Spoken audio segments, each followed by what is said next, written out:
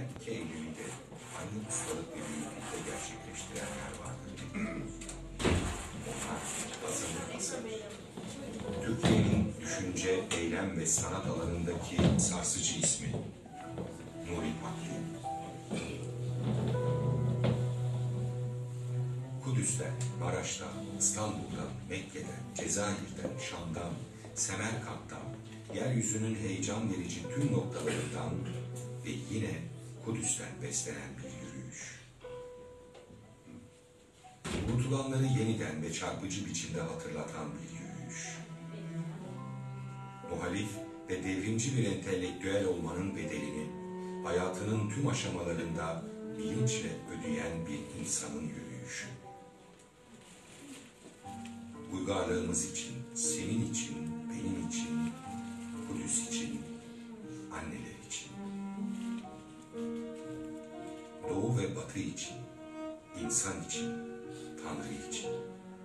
Çoğu zaman yalnız ve batısız ama umutla. Hep devrimci bir derviş hüneriyle, sabırla, göklere baka baka, Tanrı'dan başkasının önünde eğilmeyi reddederek, onurla. Nuri Pakdil, salt eylem, somut umut, klas duruş. Durmak değil, duruş. Yürüyüşün bir parçası. Bir selam, bir uygarlık, bir işçi, bir dost. Bir karınca, bir direniş, bir ışık, bir ağaç. Bir haber, bir kurşun, bir bomba, bir şiir. Hepsi o rikkat pusulasından geçip yorumlanırken yürüyüş. Sömürgeci, anam ağacı, kirli mülkiyet, zincirler, rica, kara siyasa. Bu kavramlar gerilimli bir dikkat raketiyle karşılanıp yeryüzüne gönderilirken. Bitmeyen, kesintisiz, tereddütsüz yürüyüş.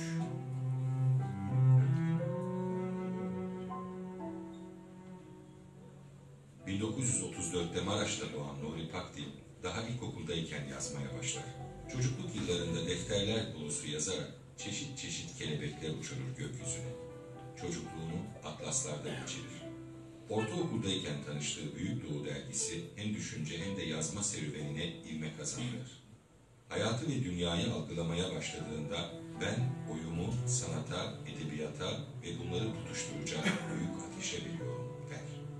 Lise son sınıfta Cevat Fehmi Başkut'un Paydos oyununda Muallim Murtaza rolünü oynar. Sonunda zihinlere bir Nuri Pakdil imgesi yerleşir. Maraş Lisesi'nde Hamle adında lise ölçülerinin çok üzerinde bir dergi çıkarır. Bu küçük lise dergisi Ankara'dan, İstanbul'dan kim yazarların. 1958 Temmuz ortalarında Maraş'ta Rasim Özdenören'e çocuk bahçesinin önünden geçmekte olan genç bir adamı işaret ederek işte Nuri Pakdil bu dediklerinde Rasim Özdenören gördüğü kişiye hem hayret eder hem de hayran olur.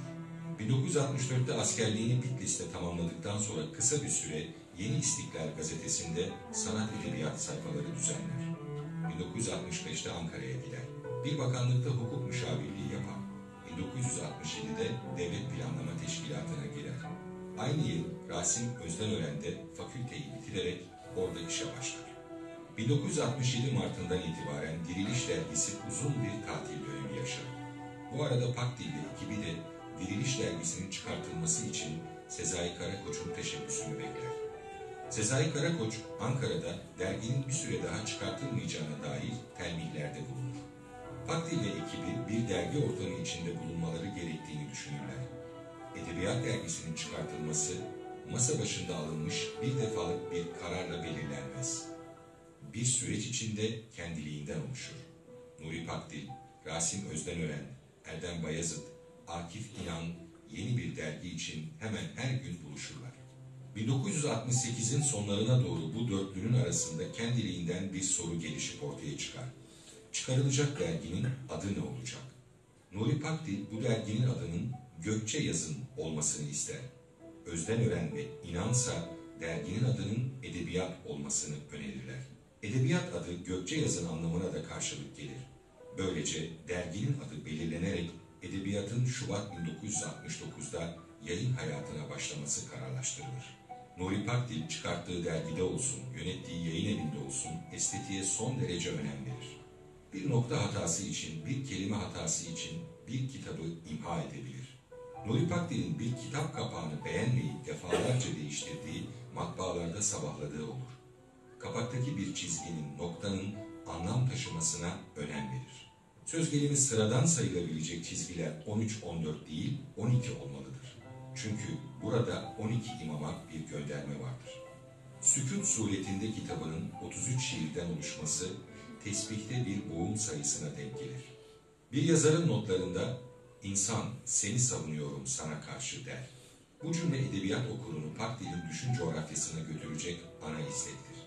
O, edebiyat yeraltı haritası değil, yeryüzü mahşeridir derken, edebiyatı yaşamın kıyısında, köşesinde değil, merkezinde görmek istediğini söyler. Nuri Pakdil'in yanında olmak, her an tetikte olmayı göze almaktır. Sevdi mi tam sever, koptu mu tam kopar. Arkadaşım dediği bir insan için gücünü ve yüreğini sonuna kadar açar. Tek başına kaldığı dönemlerde olsun hiç kimse hakkında olumsuz konuşmaz. Gıybet duyarlılığıyla özel isim bile kullanmaz. Kendisini arayıp sormayan birçok yol arkadaşını hep güzel yönleriyle anar. Her an seslere ses katacak, yağmurları indirecek bulutları, en sarsıcı fırtınaları estirecek rüzgarları sürekli yedeğinde, yüreğinde taşıyan çelik adamdır. Duruşunda entelektüel bir derviş saklıdır. Nuri Pakdil düşünce ve sanat kozasını sabırla, dirençle örerken tüm yeryüzünü büyük bir titizlikle gözetleyen, gözlemleyen, algılayan, sürekli kendini yenileyen, yerli ve yabancı zorbalara, emek sömürücülerine, insanı kendi karanlıklarında boğmaya çalışan zalimlere karşı tek başına yiğitçe direnen, insanın önüne aydınlık ufuklar açan, çözümler üreten bir eylem ve tavır adamıdır. Pakdil Orta Doğu'yla bütünleşmiş gibidir. Eline bir gazete alacak olsa gazetede didik didik Orta Doğu, Kudüs kelimelerini arar. Yolda bir arkadaşını görse nasılsın der gibi Kudüs nasıl bugün der. Kimsenin adamı olmayan, hiçbir şekilde çıkar peşinde koşmayan, yalnızlığı bir hayat biçimine dönüştüren öncü bir kişiliktir. Edebiyat dergisinde reklam için ayırdığımız yer her biri için bir kibrit kutusu büyüklüğünü geçmemeli. İlkelerimize uygun ilanların tek sütun santimi 100 liradır. Klişe konmaz, banka ve içki ilanları alınmaz der. 31 Ocak 1984 Kar yeni bir yıla takdil öfkesiyle yağmaktadır ve edebiyatın bürosunun bulunduğu Akay yokuşunda trafik tıkanmıştır. Ankara'daki öğrenci yurtlarına haber verilmiş ve edebiyatın bürosundan başlayan kuyruk, Demirler Pasajı'ndan Akay yokuşuna taşmıştır. İnsanlar kucaklarında kitaplar ve dergilerle yokuştan aşağı inmektedirler. Nuri Pakdil takım takım kitapları ve dergileri öğrencilere dağıtmaktadır. Nuri Pakdil gerekli gördüğünde geri çekilmeyi de bilen adamdır. Ricat anlamında değil, topluma biraz zaman tanıma anlamındadır bu geri çekilme. Tıpkı Türkiye'ye ve yaşadığımız dönemlere erken gelmiş diğer adamlar gibi. Onların söylediklerini, anlattıklarını toplum biraz hazmetsin, birazını bari anlasın, birazını algılasın, kafasında gönlünde dolaştırsın diye bu adamlar uzun molalar verirler kendilerine. Sonra yeniden yola koyulurlar, sımık olurlar, kaygısız abdal olurlar. Az olmanın ağırlığını yüklenir, çilesini çekerler, çoğunluğun ruhu duymaz. Her eylemi bir rivayet gibi anlatılan Nuri Pakdil'in hangi şehirde, hangi otelde, hangi mekanda yaşadığı pek bilinmez. Uzun bir suskunluktan sonra soylu eylemine bilgiden çok bilinç aktaran, otel gören defterleri yazarak sükut suretinde devam eder. 15 yıl boyunca birçok sıkıntıya göğüs gererek çıkardığı dergiyi şu kısa açıklamayla sona erdirir.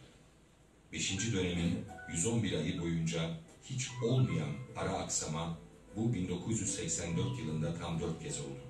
Şimdi bu sayıyı edebiyatın Mayıs 1984, Haziran 1984, Kasım 1984 ve Aralık 1984 sayılarının tümü için çıkarıyorum. İçinde bulunduğum koşullarda ancak böyle tamamlayabiliyorum 1984'ü. Çelik Adam'ın 13 yıllık suskunluğunda o dönem Türkiye'yi temelden sarsan bir takım olayların etkisi büyüktür. Bunların başında da son 30-40 yılın en önemli olaylarından biri olan 12 Eylül vardır. Edebiyat dergisinde yazan insanlar edebiyat dergisini okuyan insanlar, edebiyat dergisine emek veren insanlar 12 Eylül sonrasında dağılırlar. Herkes kendi telaşına düşer. 12 Eylül öncesindeki tutarlılık ya da sahiplenme duygusu kalmaz. Kimsenin olmadığı bir yerde konulan tepkilerin de hiçbir anlam ifade etmediği bir 12 Eylül sonrasında en iyi tepki belki de susarak verilen bir tepkidir. Bu önemli bir tepkidir çünkü eylem belki bir yerde önemli bir şeydir ama hareketin ve eylemin anlamsızlaştığı yerde eylemsizlik çok daha önemli bir tepki haline. Edebiyat dergisinin son sayısıyla da tam 13 yıl devrimci suskusuna bürünür. Bu süre sonunda sükut suretinde konuşmaya başlar. 28 Şubat 1997'de Edebiyat Dergisi yayınlarından çıkardığı Sükut Suretinde isimli kitabıyla sadece yazıdaki suskunluğunu bozar ve ard arda kitaplar yayınlamaya başlar. Şiirleri, denemeleri, oyunları, günlüğü ve çevirileriyle birçok yazınsal türde usta bir tavır sergiler. Yatağının yanında kağıtla kalemi hiç eksik etmez. Hüseyin'idir daktilosunun sesi, çiçeklerdir onda sözcükler. Atasoy Müftüoğlu'na göre büyük bir entelektüel direnişçidir. Hep sorgulayan bir bilince sahiptir. Tutarlı bir hayat, düşünce ve edebiyat tarzının, bütünlüklü bir hayat ve edebiyat anlayışının, inandığı değerlerle uyumlu bir hayat pratiğinin sahibidir. Tarihin bilinçli, aşklı, tutkulu, öfkeli, hınçlı, sorumlu tanığıdır. İtalyan Türkolog Profesör Anna Masala, Pakdil için 1970'li yıllarda insanlar Pakdil'i 2000 yılından sonra anlayacaktır der. Nuri Pakdil, şimdi iltica edilmiş bir uzaklık.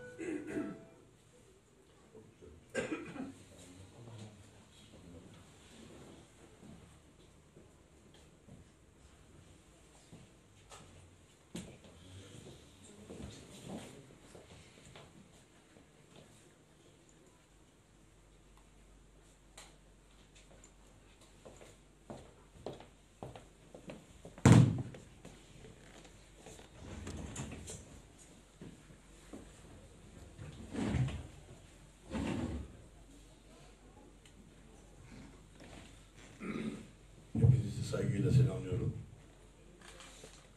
Hoş geldiniz. Bu tatil gününüzü buraya ayırdığınız için teşekkür ediyorum. Grup Aktil ve kendim adına. Bu kısa filmimiz eee, uzun bir emek sonucunda ortaya çıkmış bir metin ve eee, çalışmanın sonucuydu. Yıllar önce TRT için belgesel yapmıştık. Oradan değerlenmiş ve özetlenmiş bir metindir. Pakdil'in yaptığı şeyleri değerli toplu anlatmak bakımından önemli. Onun için gösteriyorum. Ee, sohbetimizi daha çok orada anlatılmayan, aralarda kalan boşluklar ve onun e, bu filme yansımayan e, ve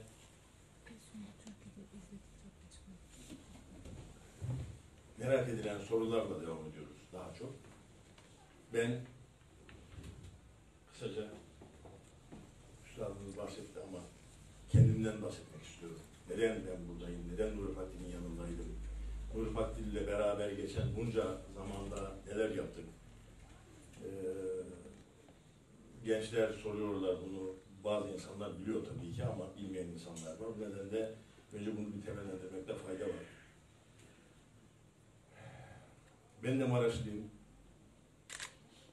Ben de Maraş Lisesi'nden Nuri Pakdil gibi mezunum. Tabii Nuri Pakdil ve diğer abilerimiz Maraş Lisesi'nin o eski kendi ifadeleriyle çatal bina dedikleri eski taş binadan mezunlar. Biz modern binadan mezunuz. Her ne kadar dizide kara lise kavramı eski binaya yapıştırılmışsa da aslında kara lise kavramı o yeni modern milli eğitimin binası için kullanılan bir kavramdır Maraş'ta. Biz zaman zaman bir şeyler yaparken toplum olarak bazı kavramları üstadım da çok durur bu kavramlar üzerinde, dil üzerinde. Karıştırmakta bir sakınca görmüyoruz.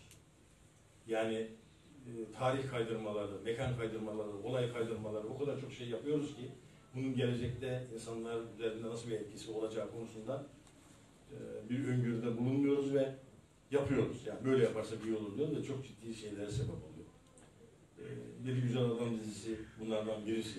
Ee, Burada çok bahsedilen bir konu değil çünkü daha sonra yapılmıştı. Ee, Ana sorular kısmında en çok sorunun geldiği yer orası olduğu için ister istemez liseden oraya geçmek zorunda kaldım. Ee, Gerçeğin yerini alıyor bir takım kurgular ve hayaller. Gerçekler perdeleniyor, yerini alıyor ve dönüşmüş oluyor bir anlamda. Yok yok sayılmış oluyor. Ee, iyi bir şey değil. Ee, burada bir insanın bir ömür verdiği bir çalışma var. Ama siz e, yaptığınız bir seyirlik programla e, bütün bunların hepsini perdeleyip yok sayıp başka bir mekana ve zemine taşıyorsunuz bunu. E, bu anlamda e, ister istemez bir haksızlık oluyor diye düşünüyorum ve bunu vurgulamak istedim lisenin kara olayından dolayı. Ben liseyi e, Maraş'ın en talihsiz dönemlerinden birisinde bitirdim. Maraş olaylarının olduğu yıl biz, biz lise son sınıfa geçmiştik. Gerçekten Türkiye'nin de geçmişinde önemli bir yeri olan e, bir travma diyebileceğimiz, inanılmaz kötü bir dönemin içerisinde Maraş Lisesi'nde okuyordum. Ben de bitirmiştim. 12 Eylül öncesindeki dönemi buradaki arkadaşlarımızdan çoğu hatırlarlar, gençler bilmezler ama orada çok e, kötü şeylere tanık olduk tabii. Sınıf arkadaşlarımızın öldürülmesine, ne bileyim e, bir sürü insanın e, hiç suçsuz yere, sebepsiz yere katledilmesine, tüm bunların e, bir e, tezgahtan ibaret olduğunu sonradan anlaşılmasına sebep olduk, an- yaşadık. Ama bunu anlatamadık. Toplum bunu bilmiyor maalesef. Toplumun büyük bir kısmı bunu böyle kabul etmiyor ve bilmiyor. Öyle bir dönemde liseyi okurken hasbelkader şiirle de ilgileniyoruz, kitap da okuyoruz. Ee, lisedeki bir şiir yarışmasına katılmıştım. Bir arkadaşımla beraber. Mansiyon ödülü verildi o zaman. Lise ikinci sınıftaydı tahmin ediyorum. Bunun üzerine bir grup arkadaş Maraş'ta aslında burada da anlatılan işte o Kenan dergisinin vesairenin geleneği olarak devam eden bir grup arkadaş sanat edebiyat çalışmaları yapıyor. Yerel bir gazetede sanat edebiyat sayfası düzenliyor. Bir yerel dergi çıkarıyorlar Kelam adında. Ee, Benimle iletişime geçtiler. Dediler ki madem şiir yazıyorsun biz de sanat edebiyat çalışmaları yapıyoruz. Ee, Lütfen buyur gel beraber yapalım diye. O zaman Maraş küçük bir şehir sayılır tabii ki bugünküne göre bakarsanız. Ulaşmak mümkün bu şeylere. Ee, Böylelikle o insanlarla tanıştık. O insanlarla tanıştıktan hemen sonra ilk karşıma çıkan şey Edebiyat Dergisi'ydi. Diğer dergilerle beraber Edebiyat Dergisi, Nur Fakir'in çıkardığı Edebiyat Dergisi'ni okuyorlardı. Ve yeni kitaplar çıktıkça gelen kitapları kendi aramızda dağıtıp okuyup sırayla değerlendirmelerini, kritiklerini yapıyorduk. Bir yazarın notları çıkıyordu, biat çıkıyordu, bağlanma çıkıyordu ki benim ilk okuduğum kitaplardan birisi biat ve bağlanmadır. Böylelikle ben Nur Pakdil'i tanıdım gıyaben önce. Lise 2 ve 3. sınıftayken.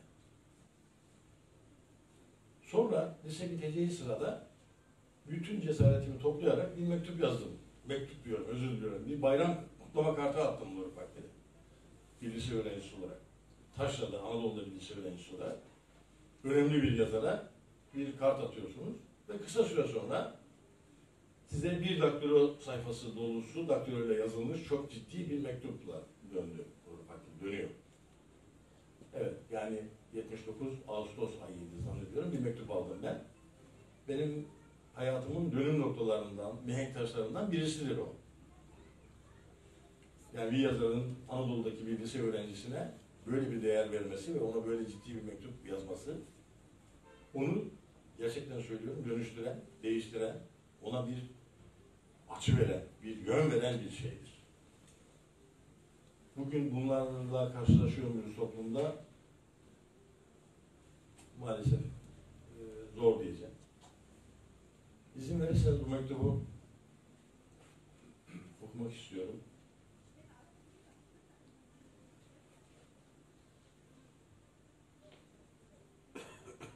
Benim için olduğu kadar gençlerimiz için de örnek teşkil edecek bir mektup diye düşünüyorum.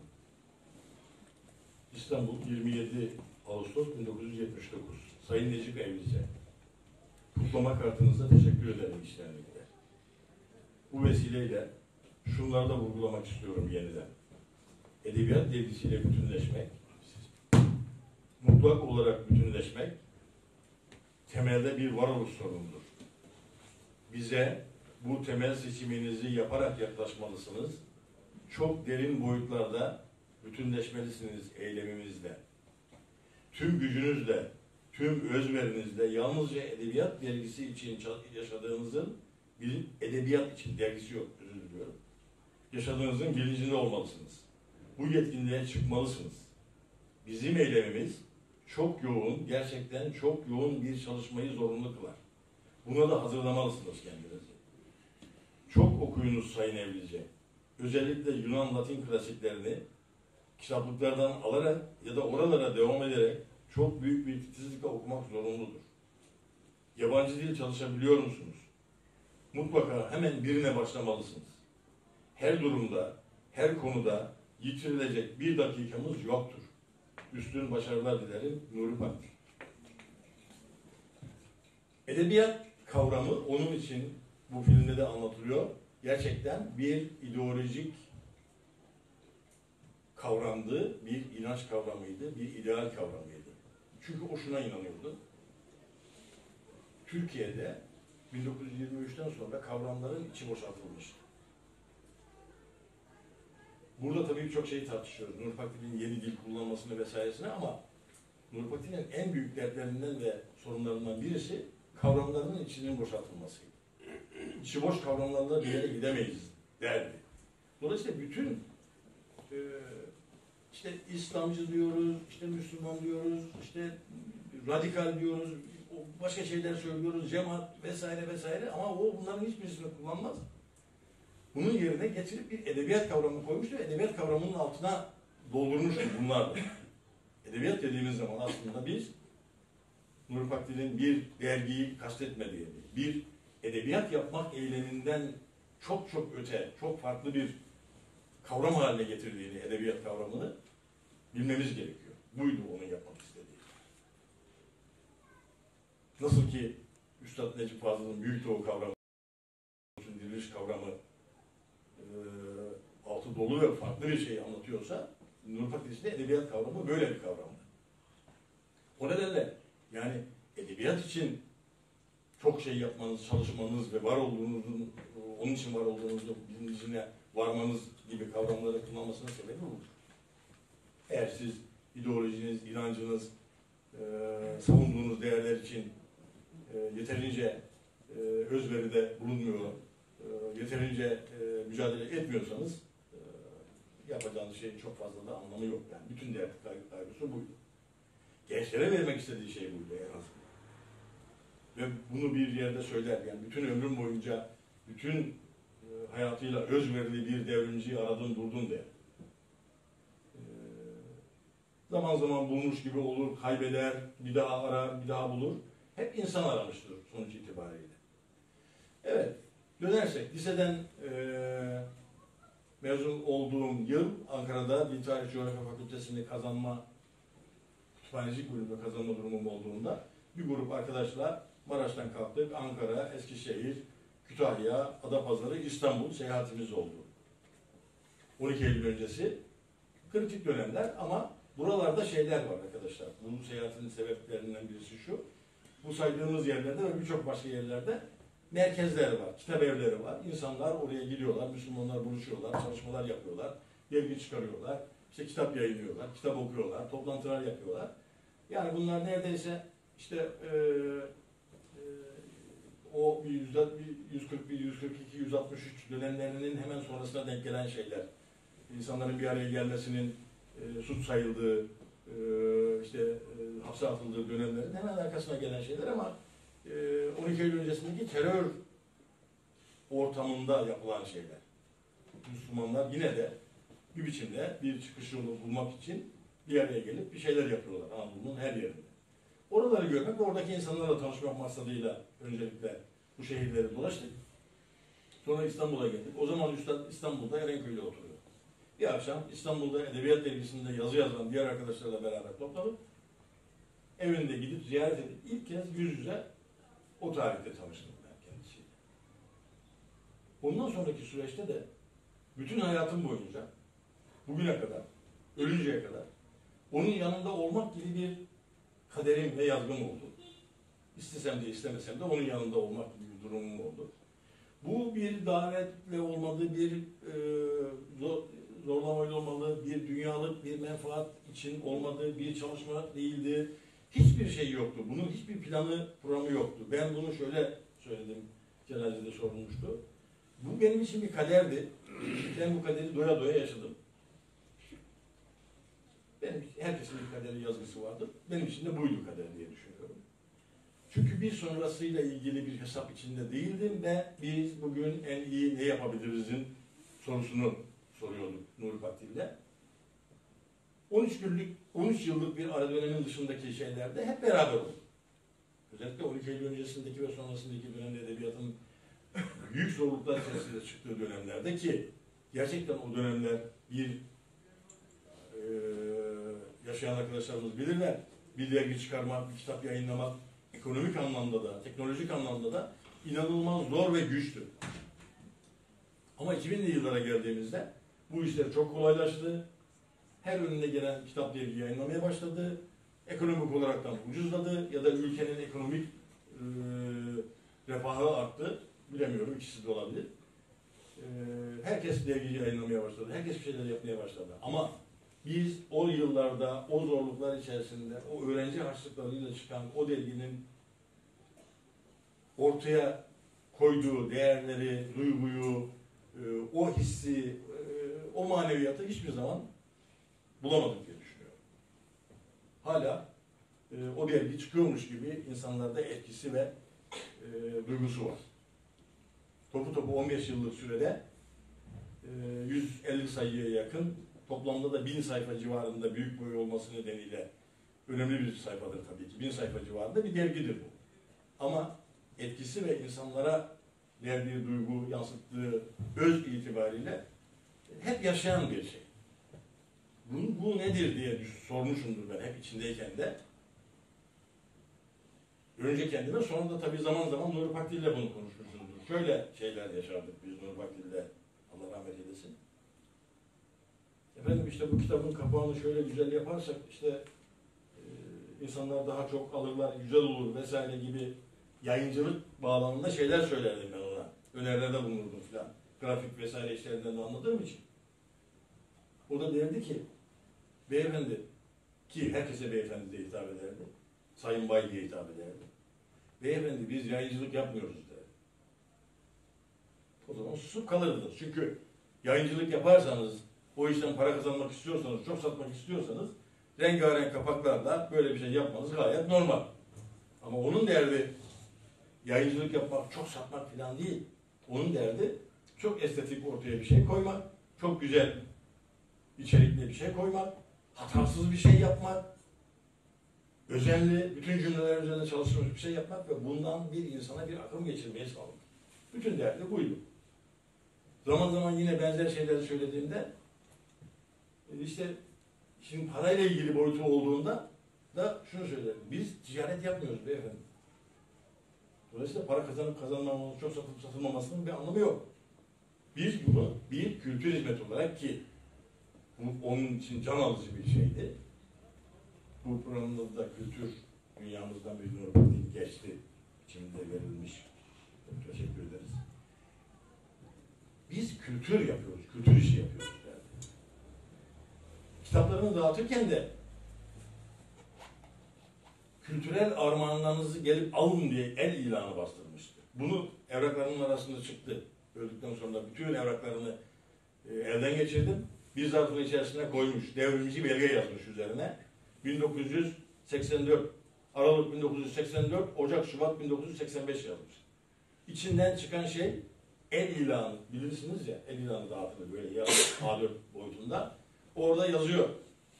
Biraz önce Güzel Bey de bahsetti filan yerde filan adreste kültürel armağanlar dağıtıyoruz. Size ait olan kültürel armağanlarınızı gelip Akay Caddesi şu numaradan alınız diye yurtlara, işte otobüs duraklarına, e, ODTÜ ve Hacettepe'nin servislerinin kalktığı yerlere elden dağıtılmış bunlar. Ve burada kültürel armağan diyor kitaba. Bedava kitap dağıtıyoruz demiyor. Yani paranın adını kullanmıyor. Bakın orada bir görüntü vardı, dikkatini çekmemiştir. Bizim abonelerimiz parayı hiç elden asla kabul etmezdik. Başka yöntemle kullanmazdık. Bir posta çeki yöntemi kullanırdık. Posta çekindeki çek kelimesini kullanmamak için posta kağıdı derdi. Çek çünkü bir bankacılık kavramıdır. Bunu kullanmak için, yazmamak için posta kağıdı derdi. Posta kağıdı no derdi. Böyle bir kavram yok ama kendisi onu uydururdu. Çünkü o kavramı, öbür kavramı kabullenmiyor, hazmedemiyor. Orada yine söylendiği gibi reklam, ilan, içki, banka, holding bunların hiçbirisine sıcak bakmadı ve uzak durdu. Hiç kimsenin adamı olmayan, hiç kimseye sırtını vermeyen. Kendisi öyle söylüyor. Bağlantısız, bağımsız, tek başına bir insanım. Öyle bakardım. Dünyada tek başına olduğunu düşünürdü zamanla. Ee, ne oldu? Evet, yani bütün bunlar geçti, hayatını tamamladı. Biz de onun yanında karınca kaderince e, hasbel kader bulunma şansını elde etmiş olduk. E, bunun için Rabbime şükrediyorum. E, onun yanında bulunan bulunmayan herkes görevini yapmıştır diye düşünüyorum. Herkesin aynı şeyi yapması mümkün değil tabii ki. Birilerinin olması gerekir. Bu bana kısmet oldu. Ben bununla gurur duyuyorum. Onun da çok kötü zamanlarımız da oldu, sıkıntılı zamanlarımız da oldu. Her anlamda. Fiziki anlamda da, e, sağlık anlamında da, yani yayıncılık anlamında da, aklınıza ne gelirse her anlamda iyi ve kötü her şeyi beraber yaşadık. Ama ben burada şu konuyu da anlatıp sonrasında sizin merak ettiğiniz soru ve cevaplarla devam etmek istiyorum. O zor bir insandı gerçekten. Ama bir o kadar da dünyanın en centilmen, en beyefendi, en nezaketli, en hassas insanıydı. Size yeri gelirdi bağırırdı, çağırırdı ama bir dakika sonra, iki dakika sonra gelip gönlünüzü alırdı, sırtınızı sıvazlardı. Asla kin tutmazdı. Her ne yapıyorsa asla kişisel kendi şeyiyle ilgili değil. O inandığı dava ile ilgili yapardı. Hassasiyeti, asabiyeti, her şey onunla ilgiliydi. Bütün hayatının her dakikasını o inandığı şey doldururdu çünkü. O insanların Allah'a giden yolda önüne konulan engelleri kaldırmak düşüncesinin dışında hiçbir şey yok. Bütün bütün burası bunun için. Bütün bu hengame içerisinde kolay şey değildir. Yani bir imkansızlık içerisinde bir şeyleri yapmak, e, her şeyi yürütebilmek, e, yoksulluk içerisinde hareket etmek ve dünyayla bir bağlantınızın olmadan bunları yapabilmek. Dünyayla bağlantınız derken belli çevrelerle, belli kişilerle.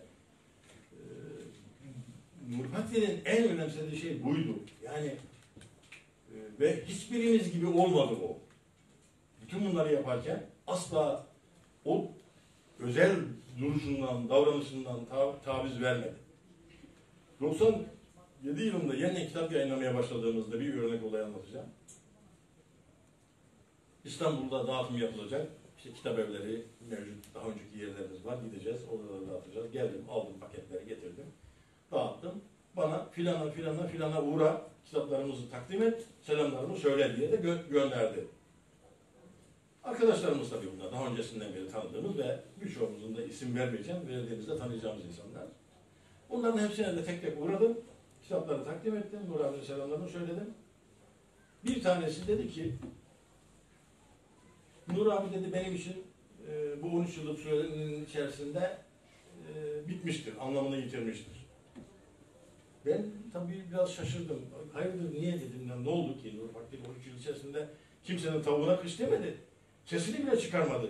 Onun 13 yıldır sustuğunu bizim Müslüman bir yazarımız, bir gazetecimiz, bir araştırmacımız değil. Milliyet Gazetesi'nde köşe yazan Enis Batur gibi bir adam fark etti de bir yazı yazdı köşe yazısı. Öylece fark ettik biz tekrardan Nur Hak gibi. Ne oldu dedim, hayırdır nedir senin dedi için biten? Dedi ki Nur Hak bizim gibi değil. Dedim yani ne, nasıl değil yani anlamakta zorlanıyorum da. Eğer dedi bizim gibi olsun bütün servetimi dedi onun için harcamaya razıyım. Ama dedi o asla bizim gibi olmayı kabul etmez. Dedim nasıl yani sizin gibi olmaktan kastı nedir? Kastın nedir? Dedik bizim gibi bak dedi sen de biz oturuyoruz konuşuyoruz sohbet ediyoruz. Nuri Pakdil'den bahsediyoruz. İşte başkasından bahsediyoruz. Çay içiyoruz. Ama dedi, Nuri Pakdil bunların hiçbirisini seninle benim yaptığımız gibi yapmaz benimle veya seninle veya bir başkasıyla. Dedim ki doğru. Çok iyi bir tespit yapmışsın. Bana da dedi bunu ihsas ettirdin. Allah razı olsun. Ben bunu biliyordum da kendi kendime fark edemiyordum, itiraf edemiyordum. Nuri Pakdil bizim gibi niye olmuyor? Ya da olur mu, olmaz mı? Olmalı mı? Böyle bir sorun vardı ama bunu şeye dökemiyordum. Yani bir e, anlamlı bir şey ortama dökemiyordum. Dedim, bu senin davranışın dedim, bana bunun farkına varmamı sağladı. Ama dedim ben biliyorum ki Nuri Pakdil asla senin dediğin gibi bir insanda yaklaşım içerisinde olmaz. E, Dolayısıyla sizin dedim bundan sonraki Nuri ile olan ilişkiniz devam etmez de bitmiştir. Gerçekten de Nuri Pakdil herkesle konuştu, herkesle oturdu kalktı, herkesle sohbet etti. Ama hiçbirimizin birbirimizle olan yaklaşımı içerisinde olmadı hayatı boyunca. Adeta hep tek yönlü bir makinalı tüfek gibi hareket etti, kendini konumladı. Karşıya bir şeyler anlatmak derdinde olan bir insan. Karşıdaki insanın durumunu tabii ki yani özel durumlar ayrı ama yani yani çok özür dileyerek söylüyorum yani zaman zaman İstanbul'a geldiğimde İstanbul'da otururken kitapları dağıttıktan sonra buluşurduk e, şeyde Erzurum kahvesinde gel bir kahve, şey, e, tavla oynayalım derdi. Tavla oynarken bile bana bir şey anlatırdı. Bir şey, şey e, işte derdi. İki üç el oynar sonra bırakalım derdi geçerdi. Hepsinde beni yenerdi tabii ki. Ben nerede tavla nerede oynayacağım. Acayip kıvrak oynardı falan. Derdi tavla oynamak değildi. Yani orada bile bir şey anlatmaktı. Orada bile bir atikliği, bir çevikliği, bir e, ideali, bir, bir, bir, farklı bir şeydi. Farklı platformda bir şey anlatmaya çalışırdı. O nedenle bu arkadaşımızın söylediği şey gibi olmadı hiçbir şey. Nuri Pakdil görüşmelerinde, sohbetlerinde e, zaten çok konuşan bir insan değildi. Yaklaşımlarında bizim birbirimizle olan muhabbetimiz gibi bir muhabbeti olmadı. O kendisine işte bir şeyi anlatma konusunda sonuna kadar bir görev edinmişti kendi kendine. Bir görev üstlenmişti.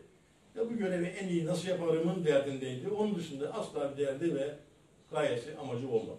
Bütün hayatında böyle harcadı. Süremiz nasıl bilmiyorum. Çok fazla tutmak istemem sizi. Ama ben e, eminim ki herkesin sormak istediği şeyler vardır. Buradaki filmlerin de dışında anlatmak istenilen konularla ilgili. O sorularla devam edersek daha e, ihtiyaç olan şeylere konuşmuş oluruz diye düşünüyorum.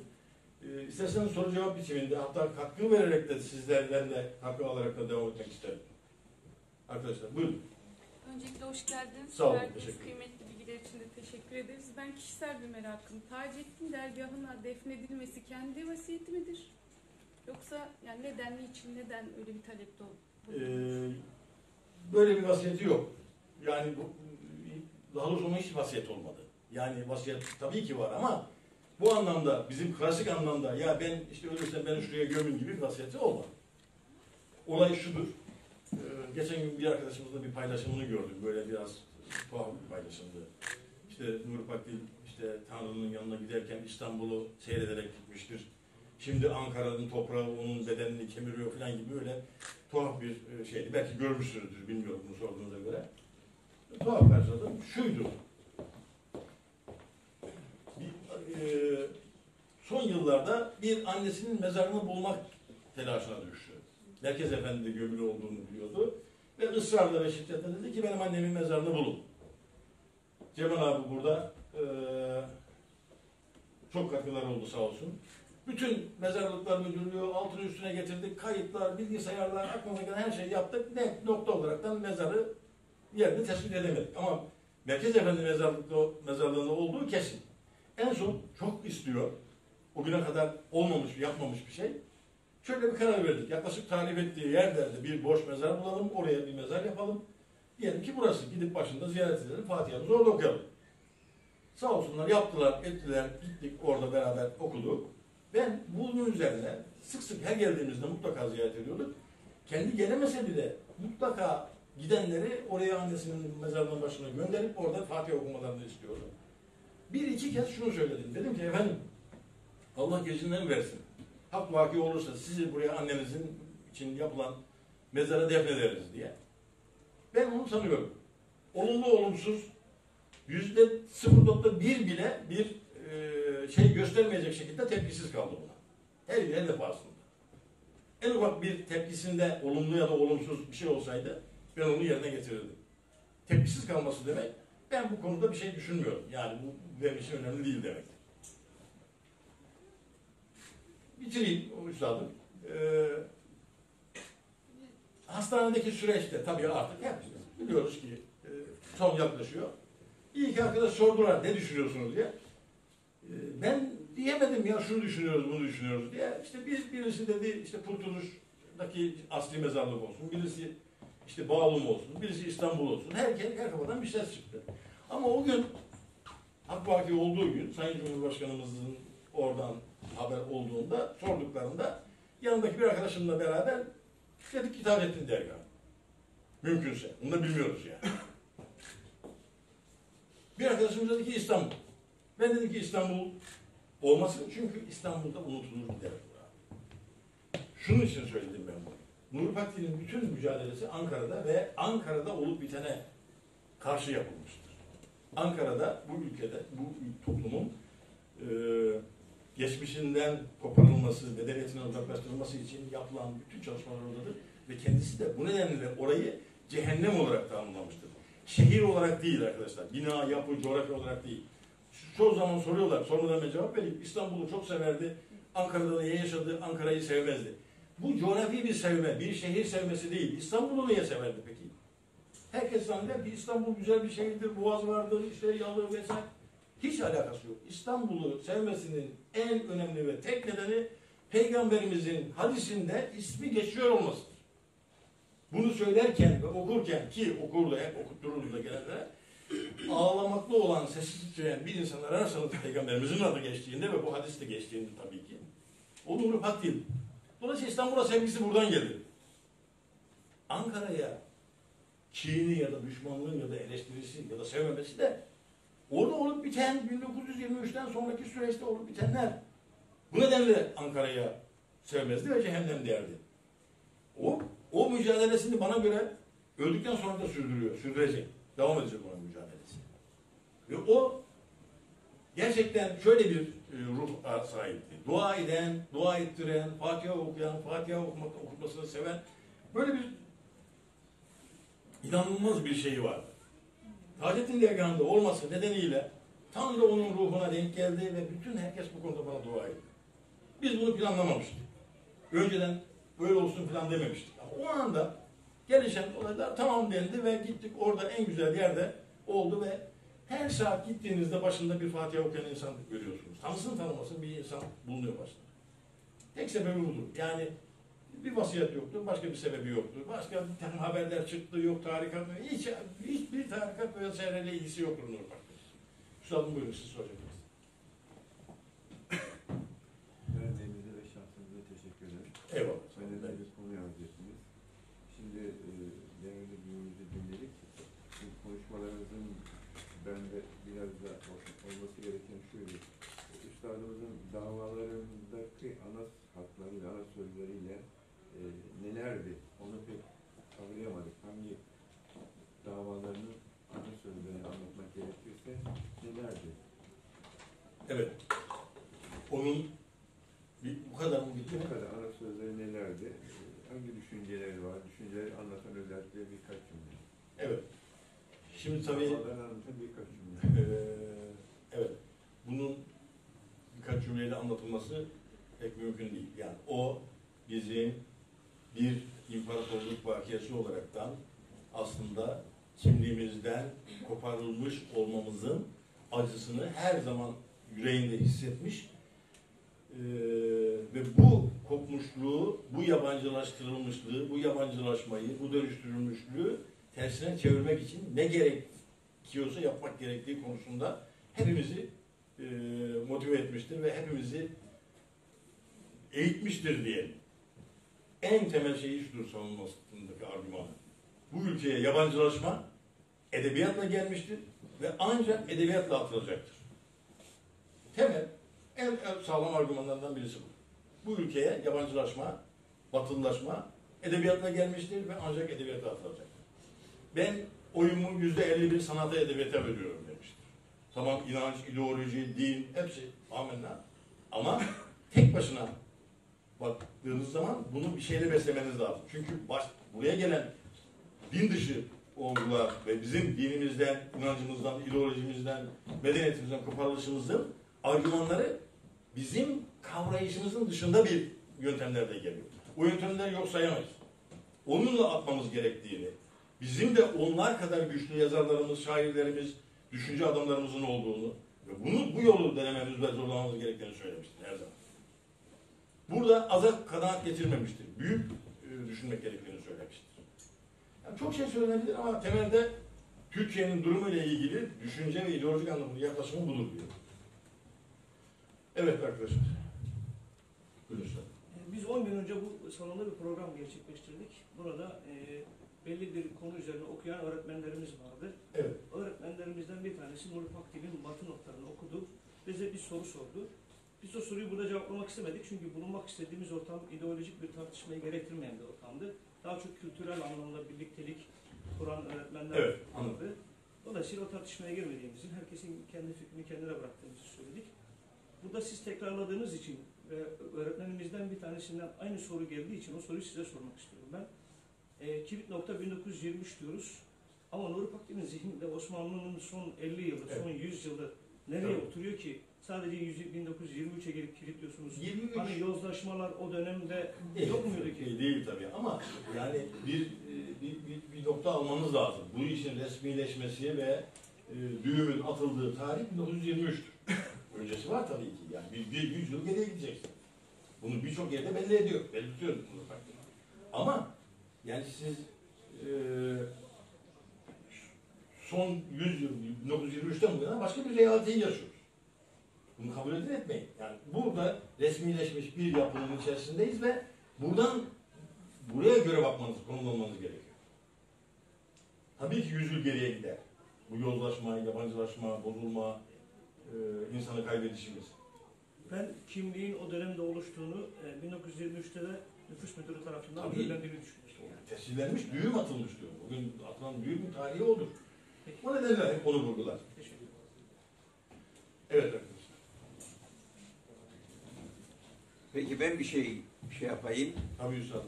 Tabii 60 ve 80 arası e, dilde ideolojik olarak darbe hükümetleri alıyor ve dile yönelik de çok baskının olduğu. 80 öncesi kavgaların merkezinde aslında dil genelde. Özelde de kelimeler var. Evet.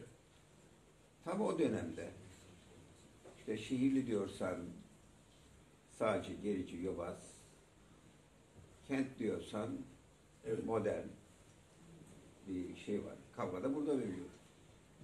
Şimdi tam o dönemde, tabii bunlar konuşuldu, yazıldı da siz e, tebrik ediyorum. Yani sırdaş olmak, yoldaş olmak, mağara arkadaş olmak e, en çok ihtiyaç duyulan bir hasret. Bundan dolayı sizi ben tebrik ediyorum. Yani o zaman özellikle e, hitap ettiği kesim açısından, kendi sevenler açısından ters gelecek e, bir dil çizgisi ortaya koyuyor. Bunlar yazılı çizildi de yani buradaki ana şeyi nedir? Yani 23'ün en önemli, 23'ten sonra en önemli şeylerden bir tanesi alfabe ve kelimeler. Evet. Çünkü kelimelerin e, bir e, yani asırlara varan e, bir kültür ve tarihi özellikleri var. İşte bunlardan bir tanesi peygamber, e, Tanrı ve Allah e, gibi yani buradaki yani yorum yapılabilir.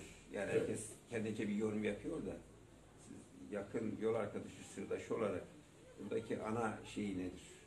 Evet. Ee, yani bu düşüncenin altında yatan şey ne? Şimdi bu tabii e, bu da biraz önce Üzeyir Bey'le de konuştum.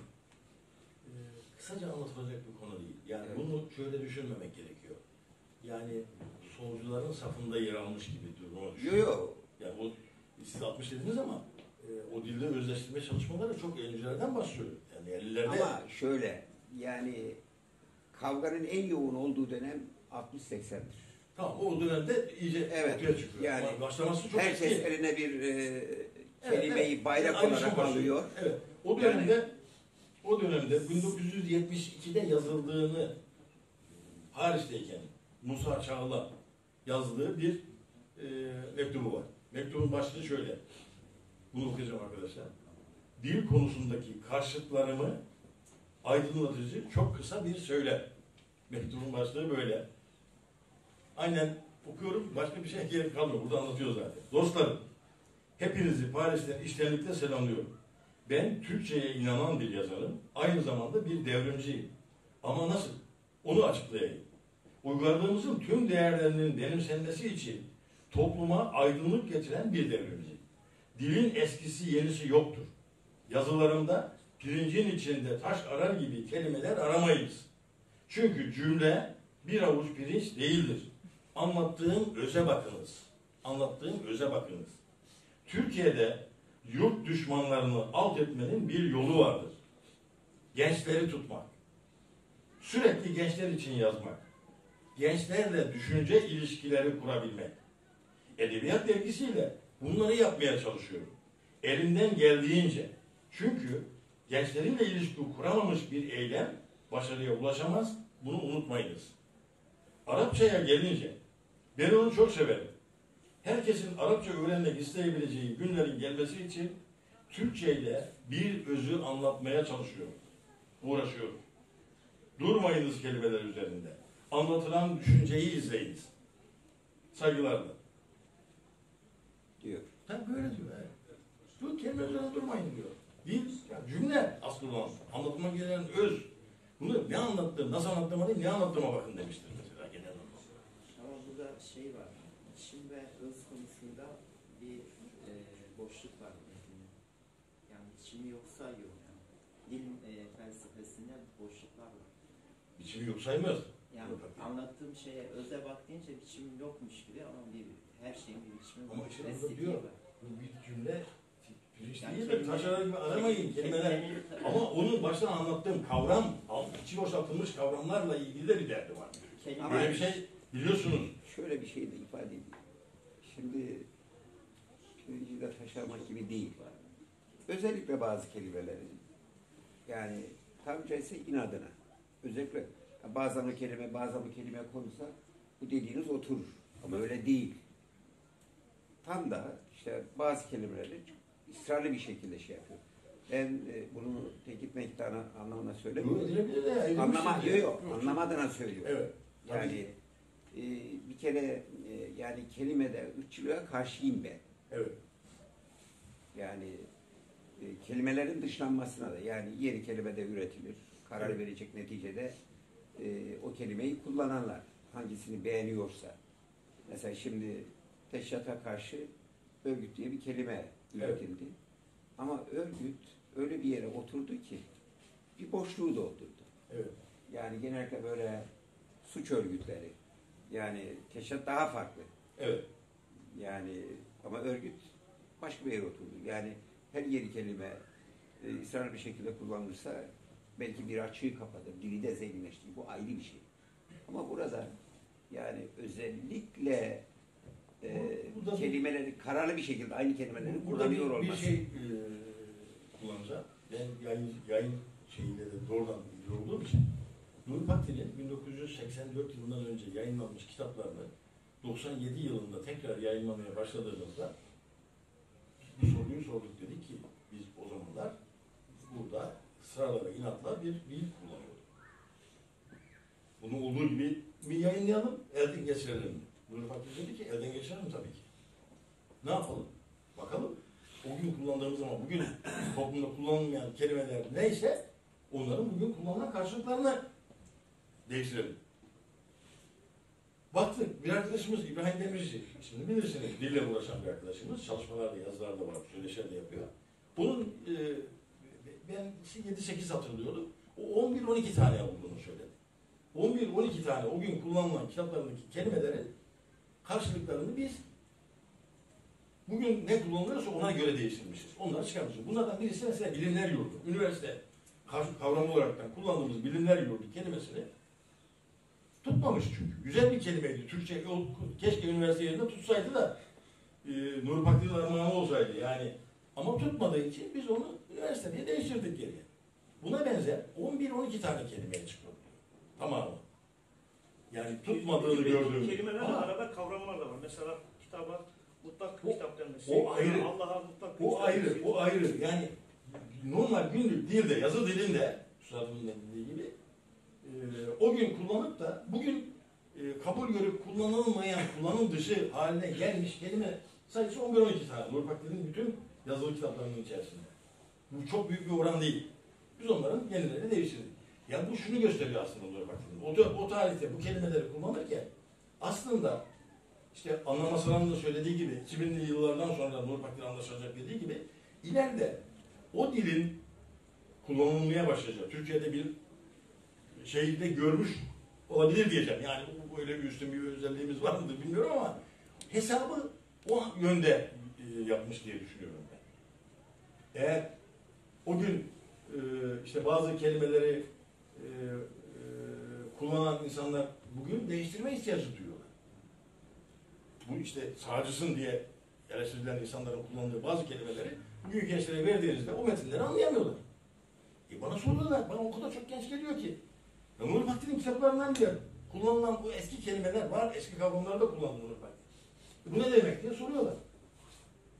Çünkü gerçekten o dil değişimi belli bir oranda başarılı oldu ve gerçekleşti ve insanlar çok az kelimeyle kullanıyorlar, ko- konuşuyorlar belki o çok az kelimeyi biliyorlar filan ama bu dönüşüm gerçekleşti. Yani bazı kelimeleri tutmamakla beraber Bu dönüşümde şu da var bak. Kabul edelim etmeyelim.